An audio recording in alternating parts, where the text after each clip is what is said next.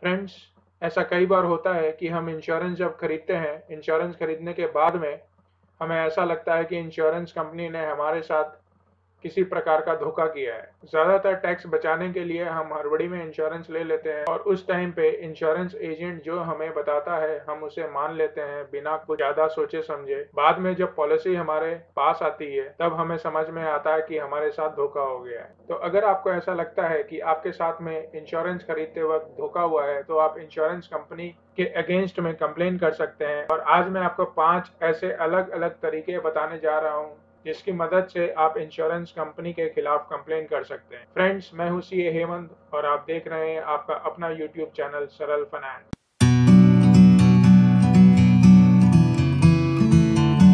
video को subscribe करिए और बेल आइकन को प्रेस करना ना भूलें, ताकि कोई भी वीडियो आपका मिस ना हो। तो आइए अब जानते हैं कि वो पाँच तरीके कौन से हैं जिनकी मदद से हम इंश्योरेंस कंपनी के खिलाफ कंप्लेन कर सकते हैं। सबसे पहले हमारे को जो शुरुआत करनी है वो हमें इंश्योरेंस कंपनी के साथ ही करनी जब हमारे को लगता है कि हमारे साथ किसी एजेंट ने या इंश्योरेंस कंपनी ने खुद धोखा किया है तो सबसे पहले हमारे को इंश्योरेंस कंपनी में ही एक रिटर्न कंप्लेंट दाखिल करनी होती है। सपोर्टिंग डॉक्यूमेंट्स के साथ आप कंपनी में एक रिटर्न कंप्लेंट दे दीजिए और एक रिसीविंग ले लीजिए। जनरली पॉलिसी डॉक्यूमेंट्स में आपको कंपनी का कॉन्टैक्ट नंबर और एड्रेस मिल जाएगा। दूसरा टाइम लिमिट आपकी कंप्लेंट मिलने के बाद में इंश्योरेंस कंपनी को आपकी कंप्लेंट को 15 दिन के अंदर में निपटाना होता है। और अगर कंपनी आपकी कंप्लेंट पर ध्यान नहीं देती है, या फिर उन्होंने जो फैसला सुनाया होता है, उससे आप सेटिस्फाइड नहीं है तो आप सीधे आईआरडीए के पास जा सकते हैं। तीसरा,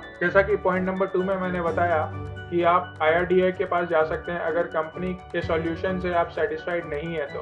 IRDA को कंप्लेन करने के आपके पास में दो ऑप्शन हैं। एक तो ईमेल के द्वारा आप कंप्लेन कर सकते हैं तो उनका ईमेल आईडी है complaints at the rate I R D A dot G O V dot in मैं रिपीट कर रहा हूँ complaints at the rate I R D A dot G O V dot in या फिर आप उनको, उनके कस्टमर केयर नंबर पे कॉल कर सकते हैं। दो नंबर हैं अलग अलग पहला नंबर है one five five two five five और दूसरा टोल फ्री नंबर है one eight zero zero four two five four seven three two toll free number मैं एक बार फिर से रिपीट करता हूँ। टोल फ्री नंबर है one eight zero zero four two five four seven three two. चौथा ऑप्शन है आपके पास में कि आप आई जी एम एस यानी कि integrated grievance management system of I R D A पे जाकर अपनी कंप्लेंट रजिस्टर कर सकते हैं। उनकी वेबसाइट है W W W dot I G M S dot I R D A dot G O V dot in एक बार फिर से रिपीट करता हूँ।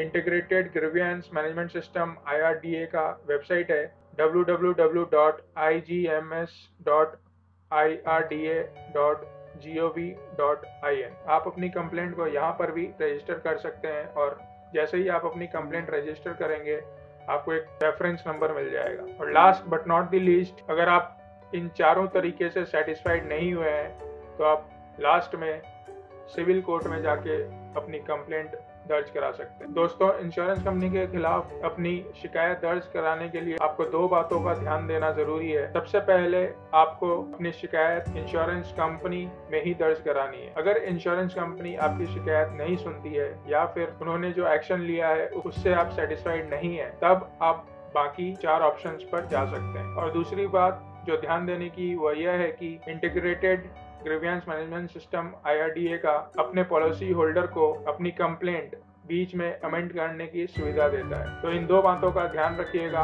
अपनी कंप्लेंट इंश्योरेंस कंपनी के खिलाफ फ़ाइल करते हुए।